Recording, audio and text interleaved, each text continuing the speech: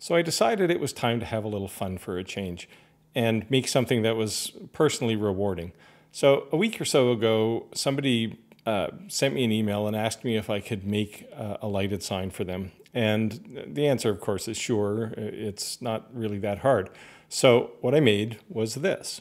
And it's just simple acrylic. You can make them for, you know, $10, $15. Uh, very simple.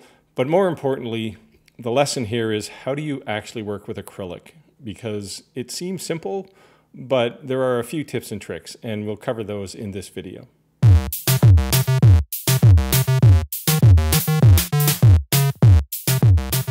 Hi, I'm Steve, and I make everything.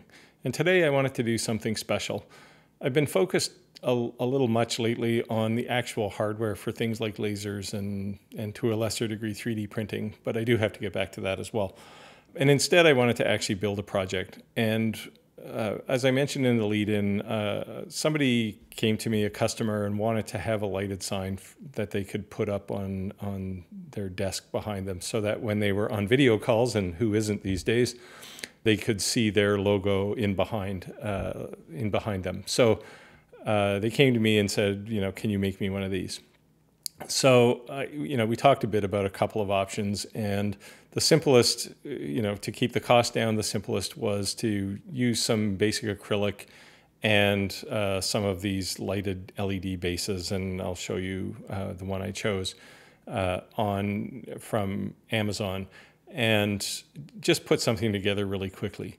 So, what I wanted to do, aside from building the sign, was actually sit down and describe some of the tips and tricks for creating the sign. So working with acrylic.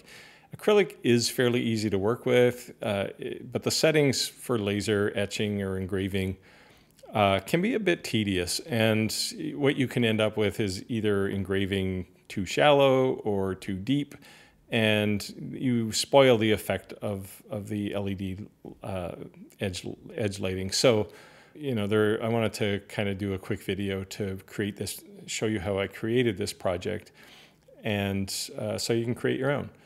And we'll start in general with some of the things I did in Inkscape. Uh, you can do your own your own things, but there were a couple of tricks that uh, I did in Inkscape to create some of the effects in the finished light. And then I'll show you how to lay lay out the the sign to get the best lighting effect when when you're finished. And then it's up to you, and you can create your own. So with that, let's uh, start by popping into Inkscape, and I'll walk you through just how to create one of these signs quickly. So here I have Inkscape fired up. It's just a blank page, and uh, there's really two components we have for a light. And the first one is the outline. And the outline has a flange on the bottom that fits into the slot for the LED, and I can pop a picture up in the corner um, at some point or just show you the base uh, later in the video. It's really just a string of LED lights at the bottom of a slot, and that slot is 80 millimeters wide and about 4 millimeters deep and uh, in thickness and uh, roughly 14 millimeters uh, in depth. So you can 14 millimeters of acrylic sits inside the base. So what I did was I created a just a, a kind of canned edge template for this, and I can upload this uh, later if people if people want it. And all it is is just a base, and I mentioned there's a 80 millimeter, roughly 80 millimeters uh, flange at the bottom, and then the rest of this area you can use for for putting anything you want inside inside the the light. So uh, what I'll put in is uh, is just my my logo, and uh, it's nothing it's nothing too complex. Just a simple logo and we can resize it so it fits in the slot or in the the item. Now what I'll do is just to make things easy here, I'll align both of these to um, to the just put them in the center of the page and and just to make things easier. So now we, now we can move the sign up so it's roughly centered in the in the frame. So there's roughly what, what our light will look like. Now there's a couple of things you have to do. They're kind of tricks. What I want uh, is to make these letters end up being transparent in the plastic, in the acrylic. So I don't want the laser to touch any of these letters. And the way to do that, and I'll just walk through one of them here. I won't, I won't do them all, but so let me ungroup this first. So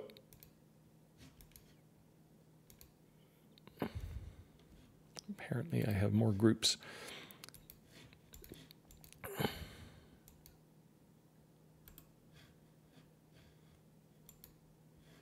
Okay.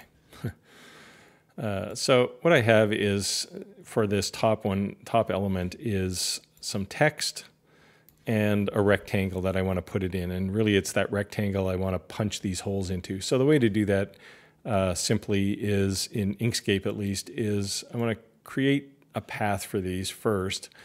And now if I actually go look at them an element at a time, you'll see that they are each now made up of of uh, path vectors, so they're they're no longer characters.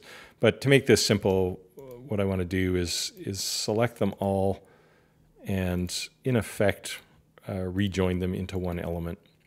So I'll just I choose them, and all I really have to do is say combine these. So now it's if I select anything here, it selects them all. And then I also want to select the rectangle and to create that that hole in them for each of the letters. All I really need to do is um, is do a an exclusion, and now whenever I lay that thing out on the on the laser, it will be one single element that looks like that rectangle, but it'll have all these holes in it that match the letters. And so I'll do the same thing with all of the other ones. And just to, to make them all proper vectors. And that's really all I need to do. Uh, I mean, I can change the color of things here, but once I load it into into the laser, it's all going to be wireframe anyway. It just it will just be lines, vectored lines. So I just wanted to show you that that one little trick, so that uh, when you see it laid out on the laser, and certainly in the finished product, you'll see that where these letters are is just clear plastic. It hasn't been touched by the laser, but everything around it will have been engraved with uh, some level of power. So that's that's all we have to do. And so now we can just do what we would normally do to send this to, to the laser is we could save a copy uh, as a PDF. And uh, if I can find PDF here, sorry. And uh, you know, we can put it really anywhere and hit save, and then we could load that into uh, the laser software uh, later to lay out and set the intensity, the power settings for each of the elements in there. In the end, we'll have effectively, I don't know, five elements. We'll have this box with this text, this one, this one, the tools, and this outline, there's an outline box here as well, and uh, the outline, the actual cut line that we're going to use to create our sign. So that's, that's all we need to do. Okay, before I actually laser cut this, I wanted to show you uh, how uh, I lay this sign out. And so what I'll do is I'll just import uh, the image I have into the simulator. This is the simulator software for the laser rather than the real thing. And I only need the vector because we're going to do everything with vectors uh, uh, on this drawing. So here you can see it, and it's all just wireframe. But if we look at it, you'll see that there's you know six elements here. And if we kind of go through these, we can set the color. So the first one is the is the outline, and that's the thing we want to cut. So I traditionally use red for that. And what, i what I've done is set the speed to 35%. So it'll go much slower, but it'll bang away at the acrylic with 100% power. That'll ensure that it gets cut all the way through. Uh, next thing is the, the tool set. And for that, we'll fill it and we'll make it arbitrarily this purple color. And next element is just the outline, which is fine. Uh, it's black already, so we can leave it as black. Uh, the top word we will fill as well, and uh, we'll pick yellow for that, and uh, I'll talk about the power settings in a second. And the middle piece, again, we'll fill it, and black is fine for that. And the bottom piece, uh, we'll reuse the purple again. So what I've done, if you see the settings here, yellow is the current, they're all 100% except for the cut. The etchings are all 1% power, but the current you'll see has changed. And this just kind of affects how intensely the laser hits the acrylic. So things that are yellow, which is the tops, top will be 100% current, but 1% power. And then the black, which is the middle piece, will be 90% current, and the two purple elements will be at 70% current. And the reason I did this is because as I move up towards the top, the etching gets a little more intense and a little deeper. And you don't have to do this, but it, it helps make the sign more balanced. So what it does is helps make sure that the light when it hits the purple word down here is about the same intensity as the light up here. So less light gets intercepted by this word and more light gets intercepted by this word, uh, this set of words, and a, it has the effect of of having the same intensity. And then in the middle, we chose kind of a middle uh, a middle power setting between the two that gets us, uh, you know, kind of the same uh, effect where it's so the intensity looks the same all the way up. And the one last thing we want to do is we want to print this on the back side of the acrylic. So what we'll do is we'll select it and we'll just flip it backwards. So we're now looking effectively from the back through the plastic. So all the words and everything is backwards. But when we look at it in the finished acrylic, we'll look from the other side and everything will be uh, exactly how we want. So that's it. Uh, the last, the next thing to do is uh, prep the material and get the laser ready, and we'll do that next. So before we get started with the laser, I wanted to show you a, a bit of a trick. So acrylic is, it's fairly easy to cut, but the, the problem is if you get the, the surface hot, it'll actually get some hazing, especially around cuts. And that's actually modifying the plastic. So you really can't get rid of it. But there is a trick you can use to prevent it, and that is, of course, ordinary dish soap. And really all you want to do is put, uh, you know, just a couple of little dabs down and just spread it out really thin over where you're going to cut. And we'll use this corner uh, for, our, for our sign. And it's, it's really just a thin edge. And what it allows what it does is prevents the the smoke from kind of coming up and infecting the rest of the plastic around it with with this haze. So it's you don't have to do it, but it, it makes a nicer job. And this this acrylic, by the way, is cast rather than than rolled. Rolled uh, acrylic tends to do this this hazing much much more than than cast does, but cast you can still make it happen. So. So what I did was peel the paper off of one side and that's the side we, we will do our etching on and the other side will be the side that the, the user, the viewer actually sees as the lighted sign.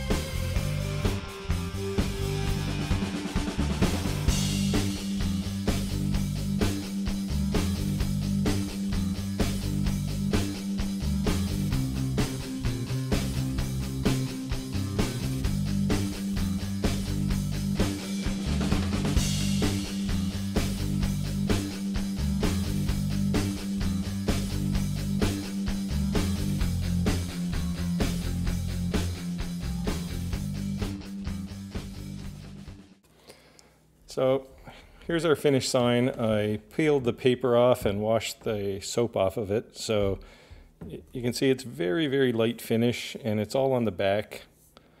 And now we gotta, we have to light it. So what I have is these, these are little LED bases and you can get them on uh, Amazon, sometimes for less than $10. They come with a remote as well uh, to select any color you want and also some effects. And they'll either run off of three AA batteries or uh, USB. You can plug them into a USB port as well. And I'll use the USB since I have it handy. So there we go, we'll plug it in. And just place it right here so I can see it in front of the camera. And we will drop our sign in.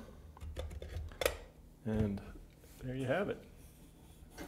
One simple acrylic sign and it looks great. This is, I have most of my lights on here so uh, it's not like it's dim or uh, you know, or anything and we can play with the remote here and change to other colors. I find these remotes, the batteries generally need to be replaced in them as soon as you get them. So, and this one is certainly no exception. But uh, they use the standard uh, 2032 batteries. They're they're cheap as well. But and you can also brighten and dim and, and dim these. But we can also it has a touch as well. So so you can see how it uh, how it looks and that's our project. So that's it. You saw you saw the sign. We made it. It was pretty simple to create, uh, and uh, it was cheap. Uh, you know, a couple dollars worth of acrylic, and you know, eight or ten dollars for an LED base, uh, including a remote, which is which is kind of nice. And you're ready to go. Uh, I was actually on a Zoom call with uh, with the customer uh, the other day and saw his brand new sign in in the background. That's why he wanted it, and in fact, he's now ordered a second one because he has two locations and and wanted to be able to have the same effect in in both places. So. Uh, with that, we'll call it a video. Hopefully, you got some value out of it, particularly around some of the tips and tricks for for working with acrylic. It's not particularly hard, but it gets a lot easier if you know a few of the secrets. So uh, if you like this video and got value, by all means, click the thumbs up down below. Uh, leave a comment. I'm happy to start discussions around some of these, these techniques. And uh, by all means, subscribe. It helps me, and hopefully uh, you'll get some continued value uh, from some of these videos as well. And uh, with that, I'll see you next time.